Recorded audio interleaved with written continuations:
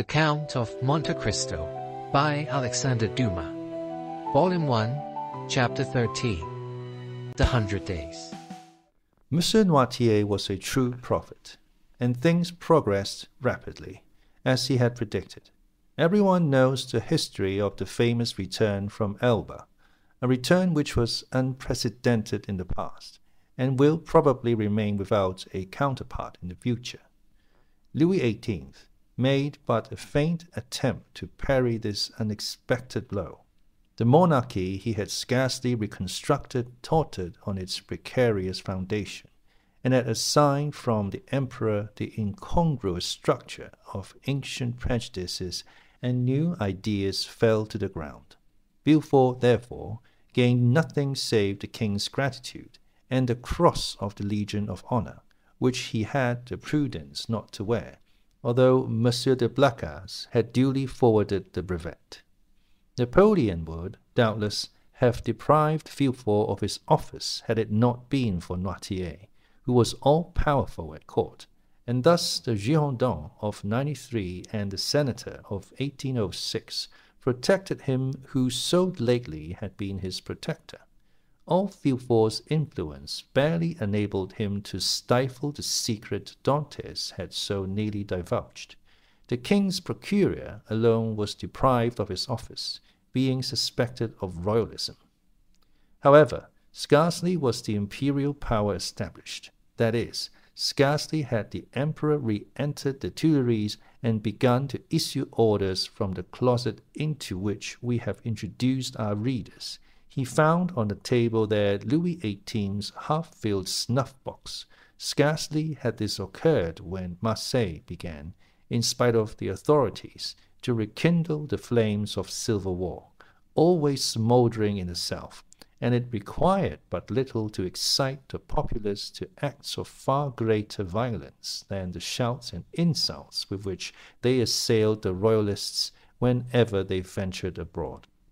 Owing to this change, the worthy shipowner became at that moment, we will not say all powerful, because Morrel was a prudent and rather a timid man, so much so that many of the most zealous partisans of Bonaparte accused him of moderation, but sufficiently influential to make a demand in favor of Dantès.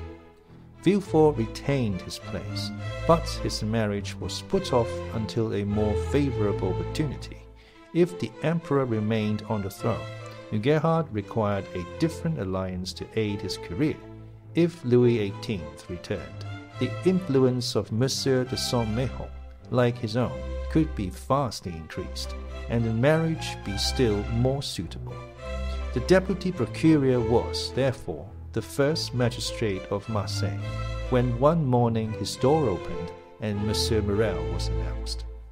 Anyone else would have hastened to receive him, but Villefort was a man of ability, and he knew this would be a sign of weakness. He made Morrel wait in the antechamber, although he had no one with him, for the simple reason that the king's procurator always makes everyone wait and after passing a quarter of an hour in reading the papers, he ordered Monsieur Morrel to be admitted. Morrel expected Villefort would be dejected. He found him as he had found him six weeks before, calm, firm, and full of that glacial politeness, that most insurmountable barrier which separates the well-bred from the vulgar man. He had entered Villefort's office expecting that the magistrate would tremble at the sight of him. On the contrary, he felt a cold shudder all over him when he saw Villefort sitting there with his elbow on his desk, and his head leaning on his hand. He stopped at the door. Villefort gazed at him as if he had some difficulty in recognizing him. Then, after a brief interval, during which the honest ship owner turned his hat in his hands, Monsieur Morrel, I believe, said Villefort. Yes, sir.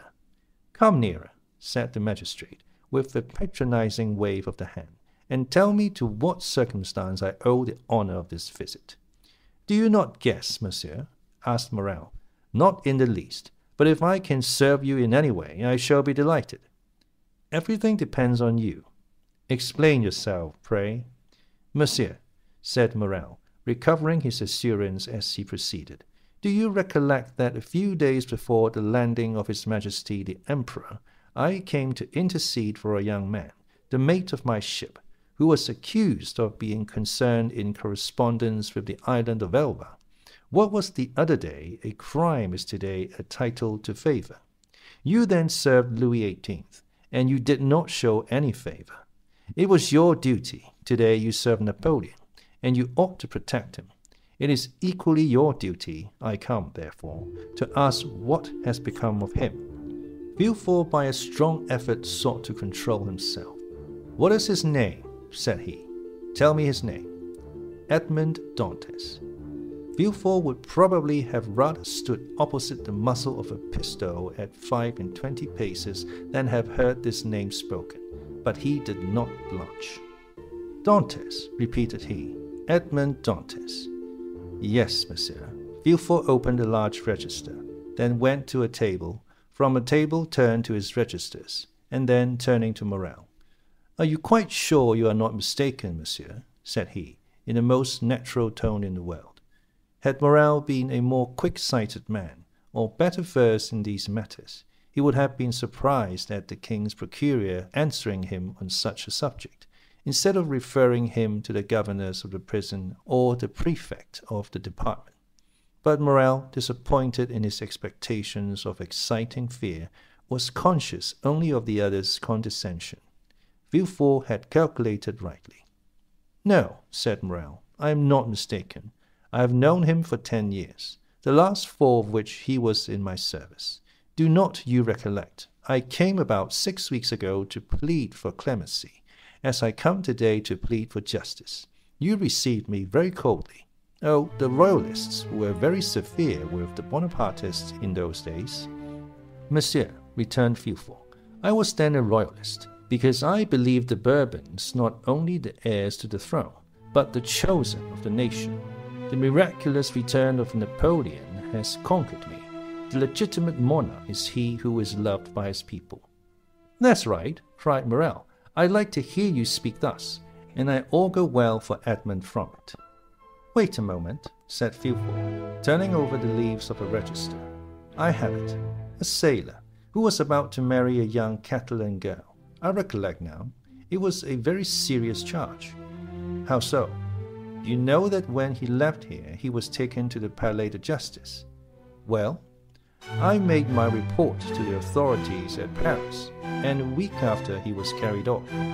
Carried off? said Morrel. What can they have done with him?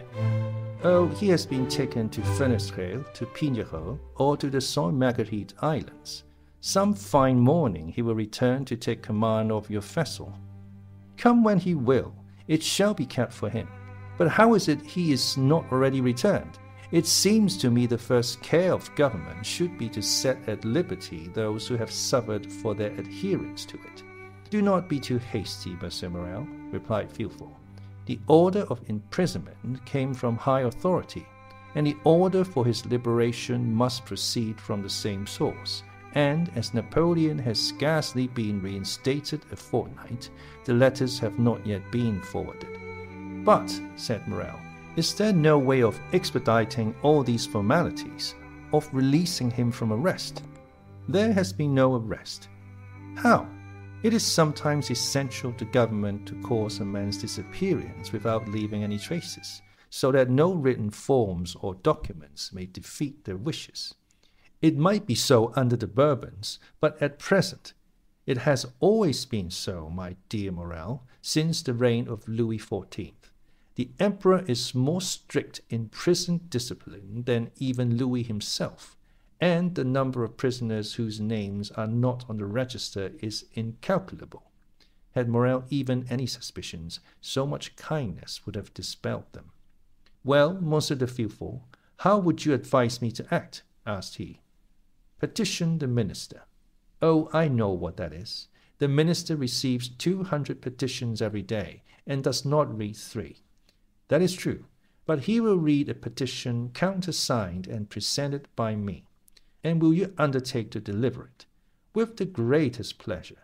Dantès was then guilty, and now he is innocent, and it is as much my duty to free him as it was to condemn him.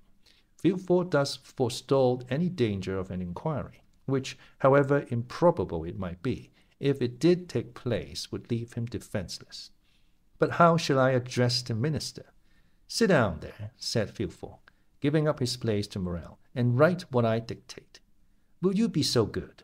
Certainly, but lose no time. We have lost too much already. That is true. Only think what the poor fellow may even now be suffering. Villefort shuddered at the suggestion, but he had gone too far to draw back. Dantès must be crushed to gratify Villefort's ambition. Villefort dictated a petition in which, from an excellent intention, no doubt, Dantès' patriotic services were exaggerated, and he was made out one of the most active agents of Napoleon's return. It was evident that at the sight of this document the minister would instantly release him. The petition finished, Villefort read it aloud.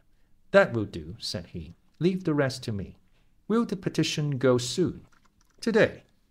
Countersigned by you.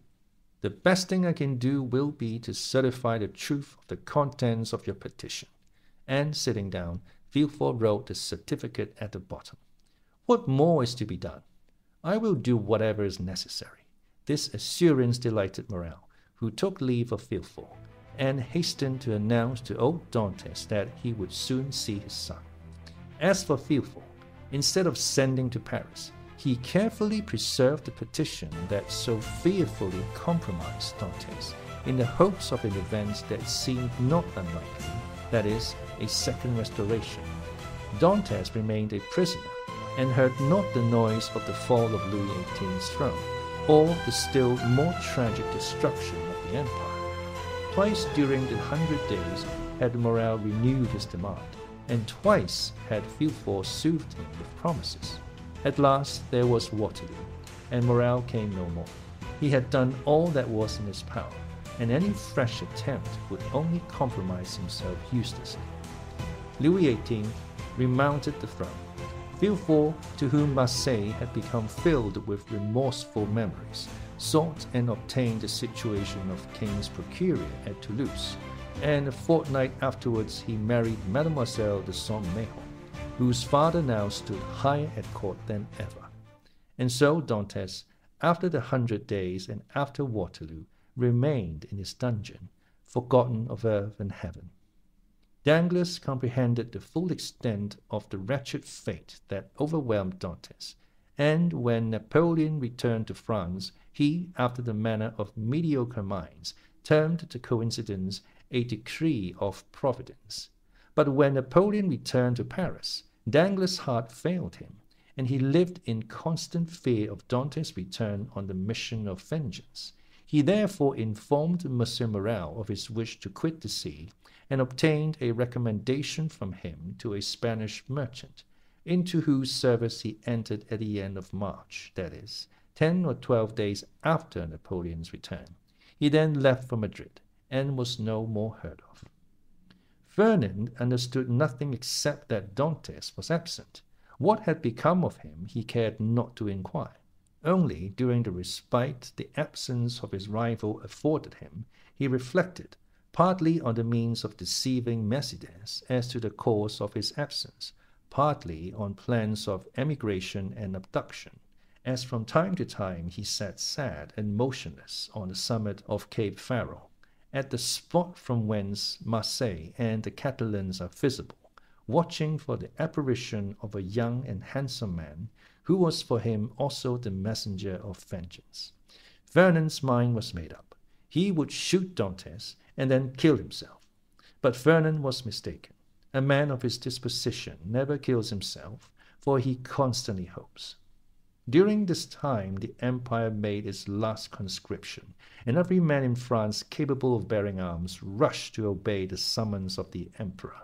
Fernand departed with the rest, bearing with him the terrible thought that while he was away, his rival would perhaps return and marry Mercédès.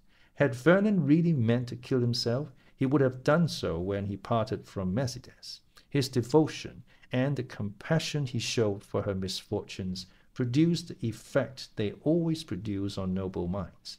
Mercédès had always had a sincere regard for Fernand, and this was now strengthened by gratitude. My brother, said she, as she placed his knapsack on his shoulders, be careful of yourself, for if you are killed, I shall be alone in the world. These words carried a ray of hope into Fernand's heart. Should Dantes not return, Mercedes might one day be his. Mercedes was left alone face to face with a vast plain that had never seemed so barren, and a sea that had never seemed so vast. Bathed in tears, she wandered about the Catalan village.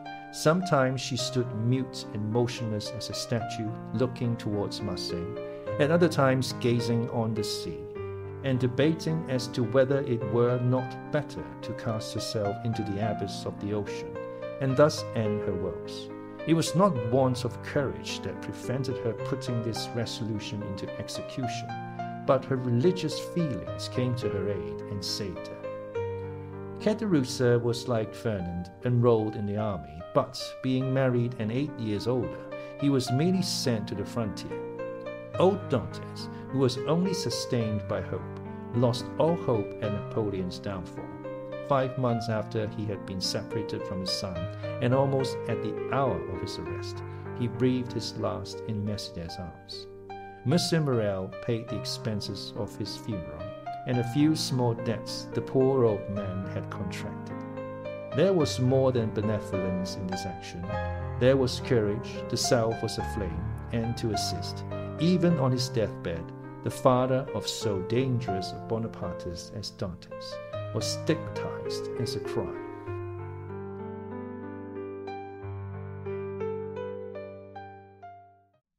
Precarious. Precarious. Adjective not securely held or in position, dangerously likely to fall or collapse.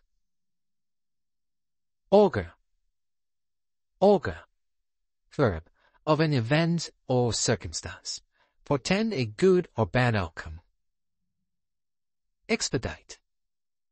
Expedite. Verb. Make an action or process happen sooner or be accomplished more quickly